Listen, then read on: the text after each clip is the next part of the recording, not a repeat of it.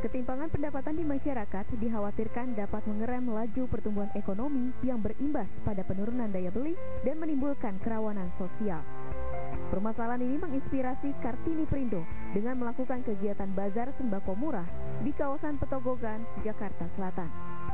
Tidak hanya beras, sejumlah bahan pokok lainnya dijual dengan harga murah, di antaranya gula, minyak goreng, dan mie instan bulan uh, Ramadan ini memang kita nambah jadi ada gula, ada minyak ya supaya semakin semarak ya. Ya itu. Dan aku berharap juga bahwa masyarakat yang memang sangat membutuhkan dengan harga sembako yang sangat menjulang mereka bisa terpenuhi. Walaupun antre dan datang sejak pagi, warga sangat antusias dengan kegiatan bazar murah dari Kartini Prindo. Ya, Alhamdulillah hampir setiap titik di Jakarta Selatan ini semua respon masyarakat uh, sangat positif dan antusias. Alhamdulillah ya, terbantu juga bagi kami yang uh, hidupnya pas-pasan ya. Seneng, seneng banget. Cukup buat makan dah lumayan dah.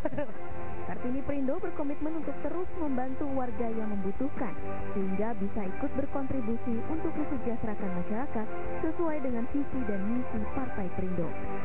Tim Liputan MNC Media melaporkan.